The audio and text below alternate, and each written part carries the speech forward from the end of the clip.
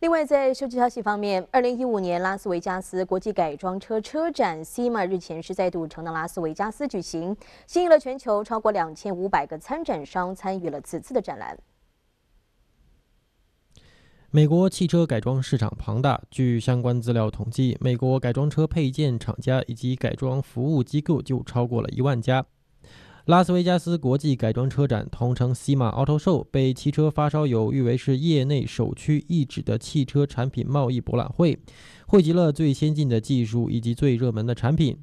与往年一样，作为只对专业人士开放的展览会，同样选择是在美国著名的赌城拉斯维加斯的展览中心举行。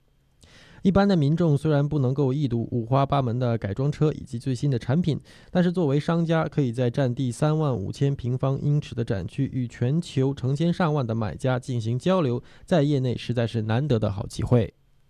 今年的拉斯维加斯国际改装车展如往年一样，除了有各式各样的改装车、五花八门的闪闪发亮的轮框以外，主办方还特意安排了疯狂刺激的漂移表演给商家体会。